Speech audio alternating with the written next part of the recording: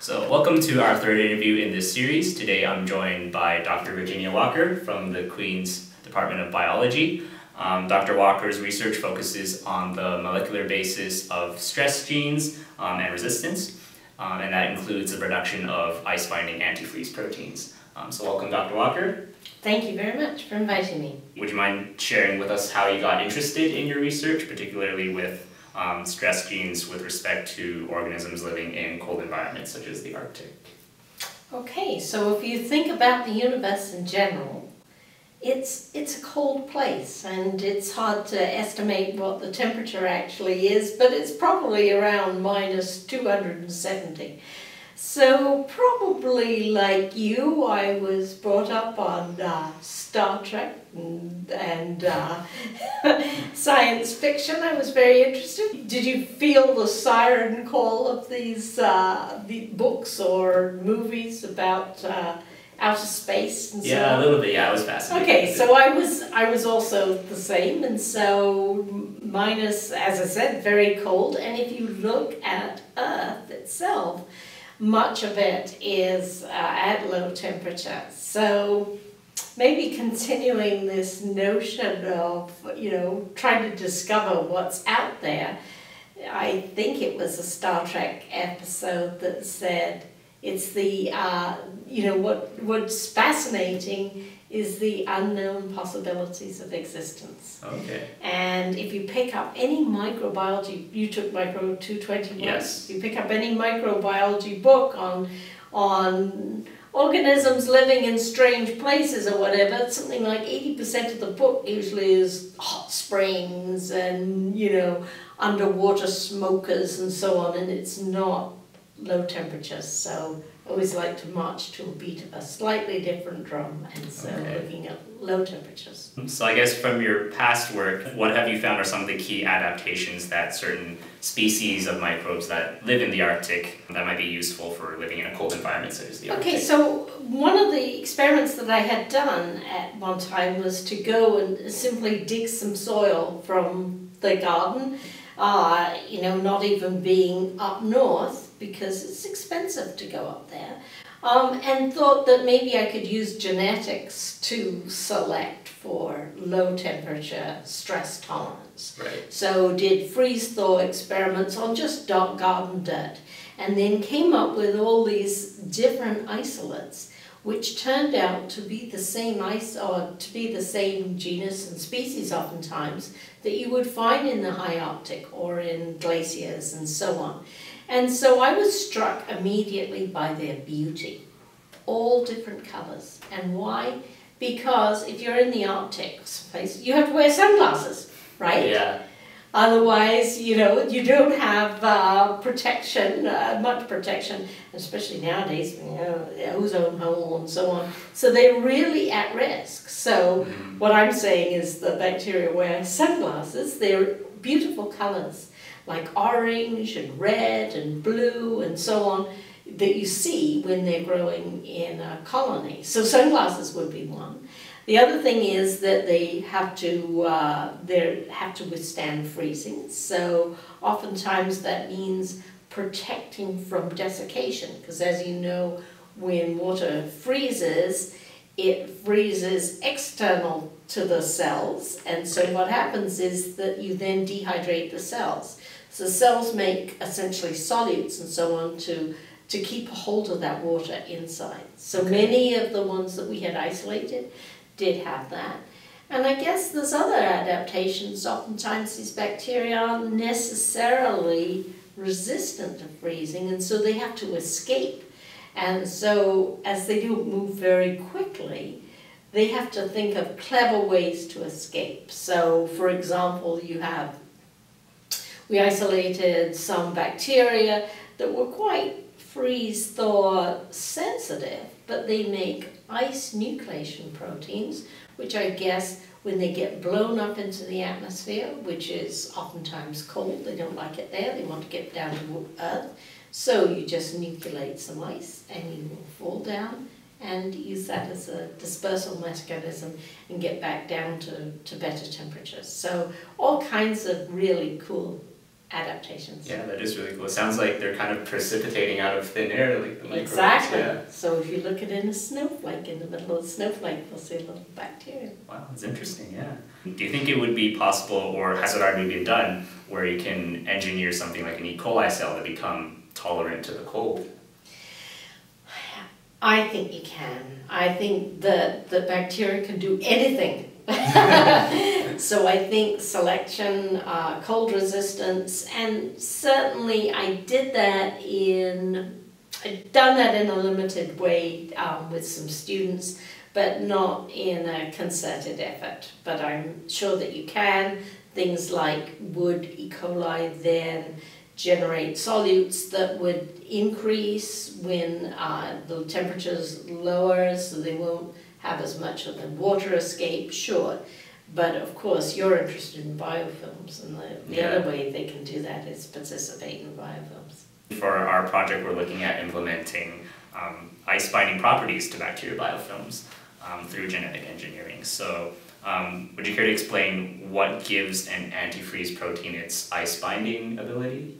The structure of the antifreeze protein is repetitive, and as you know, ice is water molecules that are organized into ice are Yep. also repetitive. So that that's kind of a maybe a, a simplistic way of looking at it. But by organizing those water molecules on the surface of the bacterium, if the water molecules are organized in such a way that matches that of ice crystals, then when the two come together, they can simply merge. Okay. The antifreeze proteins would kind of have these repetitive structures and they would match kind of the lattice structure formed by ice. You've got it, Okay. exactly.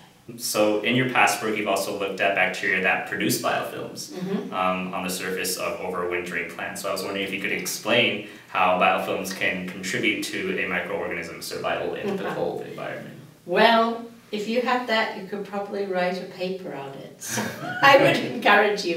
So biofilms actually very fascinating. You have individual planktonic bacteria, and they they come they somehow associate with a surface usually, and these surfaces then can attract more members of uh, more bacteria that are the same, or even other different um, genera of bacteria.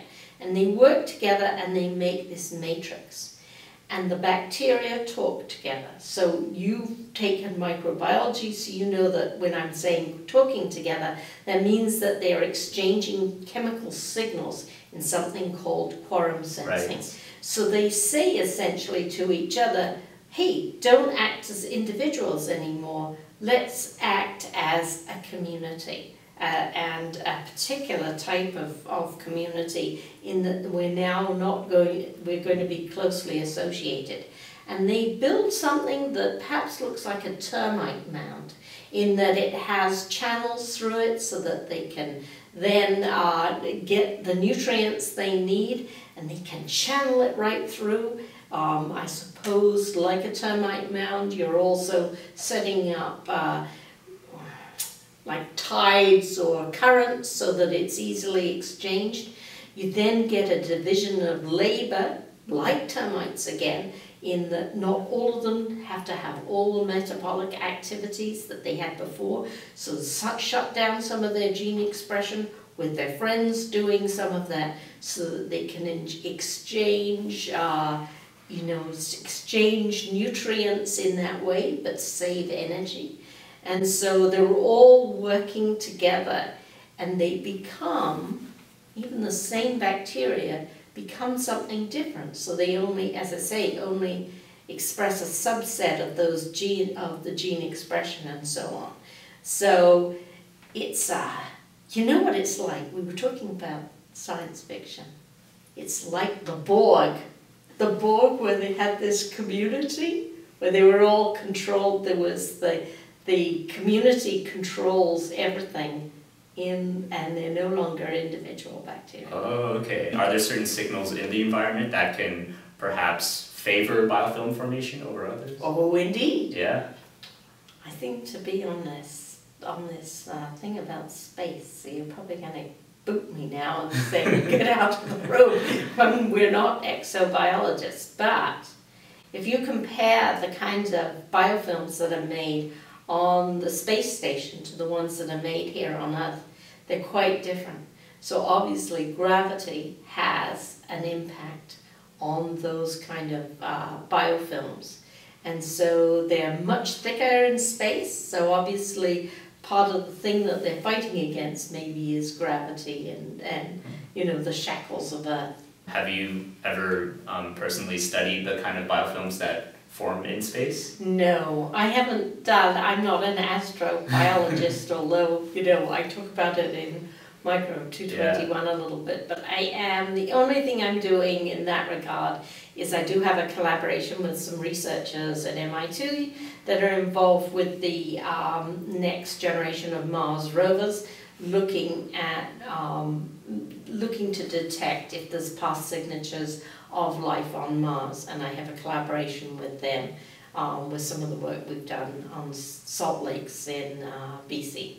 Okay. Which the salt lakes happen to be the same kind of magnesium sulfate as the uh, paleo lakes on, on uh, Mars did, so that's why it's of interest. You've looked specifically also into gas hydrates mm -hmm. and their formation in Arctic oil drilling. Um, so can you share with us what some of the harm that gas hydrates impose on surrounding ecosystems, um, as well as the kind of micro, microbial products that you've looked at in your research that inhibit them? Well, we need the whole day to talk about this. So gas, you know what gas hydrates are? They're when water, water essentially, as you know, water molecules move all around. Mm-hmm. And so the water is a liquid because all these water molecules are moving.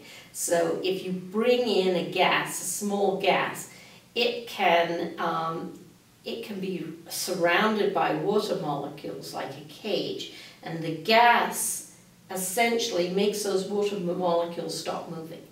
So you can then have water crystallize even at temperatures above zero because the, the guest is stabilizing it. Okay. So gas hydrates form. Gas hydrates formed in the Gulf of Mexico when they had that blowout. Right. And you remember that they were trying to seal it up by putting a cap on it? Yeah. And it couldn't seal and they, they, they couldn't do it. And the reason why was the gas hydrates were forming and building up on top of the, the place where all this oil was coming out, forming essentially ice wow. over top, which prevented them from sealing it.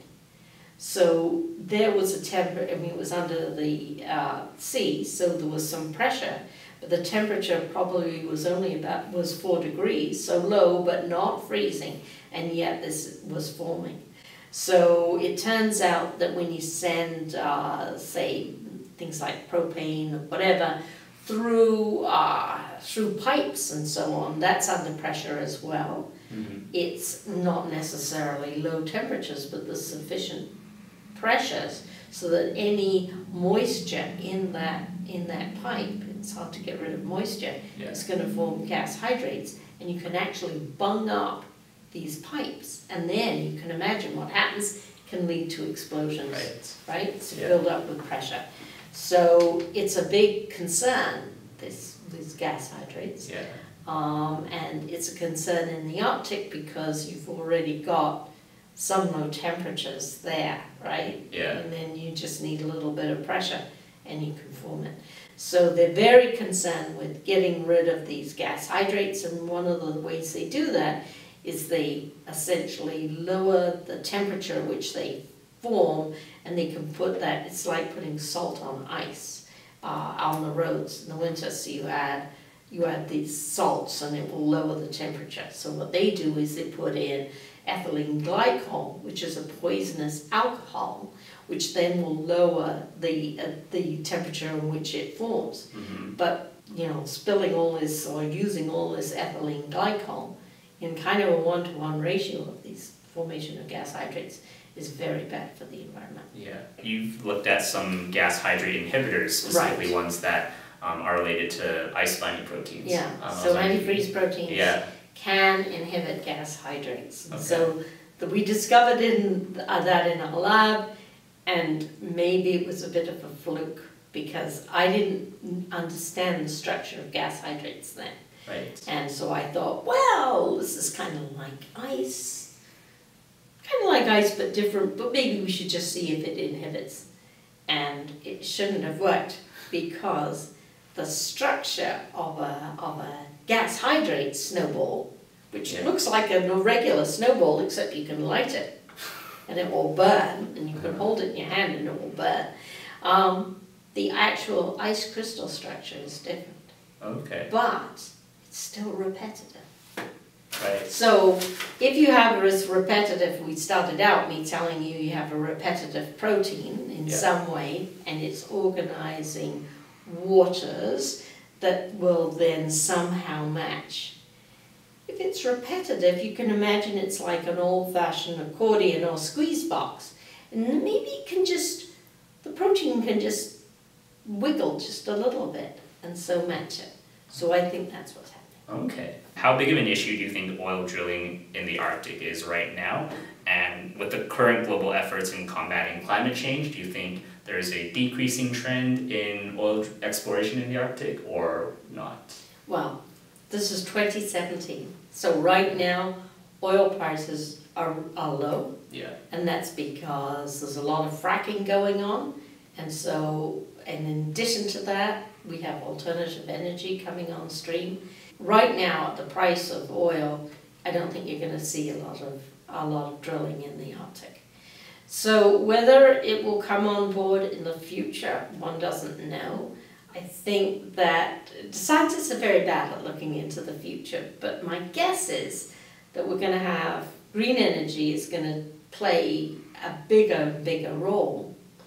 But are we still gonna need these hydrocarbons in order to make our various plastics and so on? Maybe we'll be able to make them with plant-based material, that's, that remains to be seen. One final question and I'll cap off this interview. Um, what has been your, what would you consider to be the most exciting find in your career as a researcher? I guess working with delightful students Oh, and okay. watching students progress from getting a little project that they did almost didn't understand and working on it and having them make it their own and then going to find wonderful things about it and teaching me. I guess that's my most pleasurable find. It's greatest great to hear, yeah. It was great having you here, Dr. Walker. Um, thank you for joining us for our interview. Oh, great. Thank you. Thank you.